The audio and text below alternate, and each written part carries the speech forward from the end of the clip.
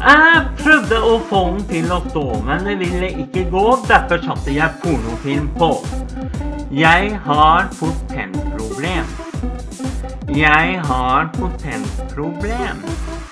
Jeg har potensproblem. Nakne damer med spenstig kropp hvor voldtekten var helt på topp, men pikken ville faen ikke opp. Jeg har potensproblem. Jeg har potensproblem. Jeg har potensproblem. Stønnende munner og sugende blikk, glitrende tunge og lange slikk. Hjalp ikke stort på min slappe pikk. Jeg har potensproblem. Jeg har potensproblem. Jeg har potensproblem. Mannen var stiv, og jenta var våt, og hun pisset i som stønninga låt. Men jeg ble faen meg ikke kåt. Jeg har potensproblem. Jeg har potensproblem.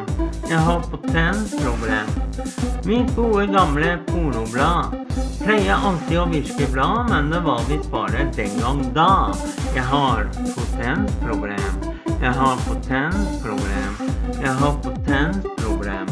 Jeg bladde nemlig ganske fort fram til bilder som bruker å gjøre pikken stram, men det fikk da ikke et eneste gram. Jeg har potensproblem.